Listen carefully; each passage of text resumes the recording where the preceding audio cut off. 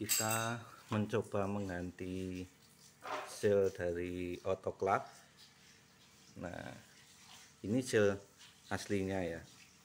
Sudah lama sudah pada gripis sehingga kalau kita lakukan autoclave itu sering bocor. Nah kita coba ganti dengan seal uh, Presto yang kita menggunakan ukuran 30 cm nah ini setelah dipasang nanti sulit ya tadi masangnya ya. Nah kita press dulu biar dia pipih membentuk pipih gini. Ini sudah rapat tidak ada yang lubang. Ini seperti ini. Nah kita nanti tunggu ini dibiarkan seminggu biar bentuk dulu baru kita panaskan untuk kita coba apakah masih ada kebocoran atau tidak. Tapi kemungkinan sudah nggak ada kebocoran. Kalaupun nanti ada kebocoran mungkin nanti pemasangan silnya akan kita lem semoga tidak ada kebocoran.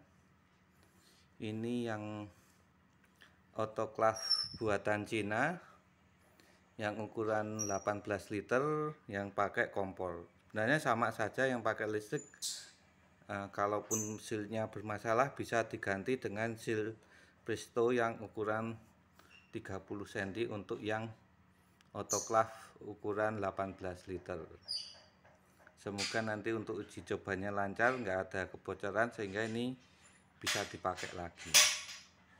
Nah untuk perbaikan autoclave seperti ini untuk komponen-komponennya seperti ini apa valvenya sama yang pengukurnya ini harganya mahal ya. Ini seperti ini pengukur tekanannya ini eh, yang saat yang 0 sampai satu setengah MPa itu sekitar satu jutaan.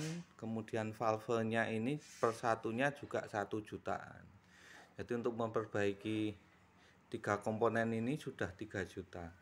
Kemudian untuk shieldnya ini yang asli itu juga mahal juga jutaan. Nah, makanya kita coba dengan menggunakan seal dari uh, Presto yang ukuran 30 cm semoga saja berhasil ya. Ini tampak sudah rapat sudah rapat.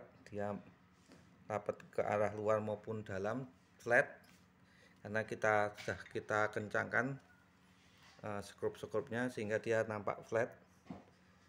Nah nanti kita biarkan seminggu biar dia bentuk flat baru kita panaskan agar benar-benar uh, bisa menyesuaikan dengan kondisi autoclave-nya. Demikian dari saya, terima kasih.